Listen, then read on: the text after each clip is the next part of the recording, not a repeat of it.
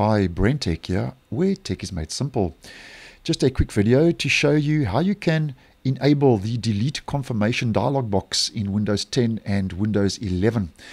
Now, just a quick history, and as many of you may know, with Windows 8, Microsoft turned off the delete confirmation dialog box by default. So, starting with Windows 8 right through now to Windows 11, um, as an example, if we delete a file, it moves it straight to the recycle bin and places it in the recycle bin and doesn't show the delete confirmation dialog box, which was a little menu that popped up on your screen, which basically uh, before Windows 8 was an extra layer of protection, which could help you prevent accidentally deleting a file and you know just make it a lot more difficult to accidentally delete a file or a folder.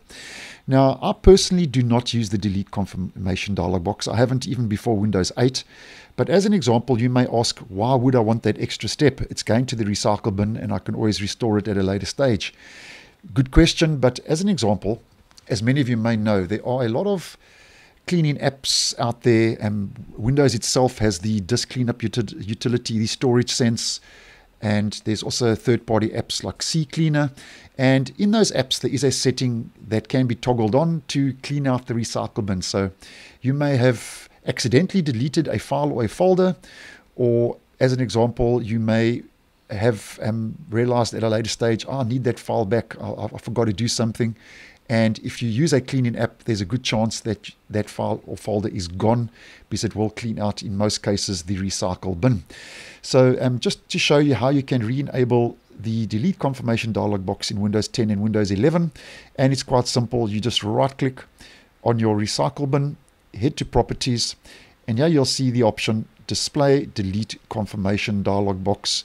You click apply, okay, and now you'll see when I delete this folder there we go. It pops up and shows the delete confirmation dialog, which says, Are you sure that you want to move this folder to the recycle bin? As mentioned, just another extra layer of protection. You know, to prevent accidentally deleting a file or a folder, you go yes, and there you go, it's gone. And then at any stage, if you want to turn it off again, you just go back to properties, toggle off the setting, click apply, OK, and now you'll see um, if we just delete that folder, it's gone and everything is back to normal. So thanks for watching and I will see you in the next one.